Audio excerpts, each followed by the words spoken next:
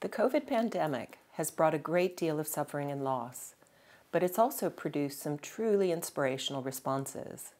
One example is the response to the breakdown of the NHS's privatized global supply chains. As well as calling in the military, a call went out to UK manufacturers to see what could be made locally rather than imported.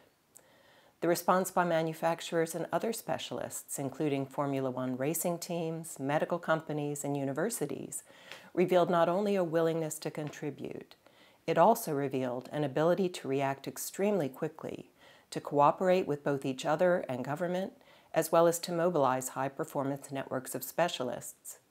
When new products such as breathing machines and PPE emerged, the designs were open sourced for others around the world to use free of charge corporate purpose became a reality. Our contribution to the return of the state focuses on this more positive side of the pandemic.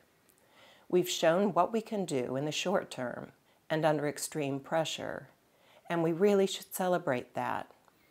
The best way to do that is firstly to not lose that spirit of cooperation as we emerge from the pandemic. The same cooperative approach could and should be used to address much longer term issues and to solve them.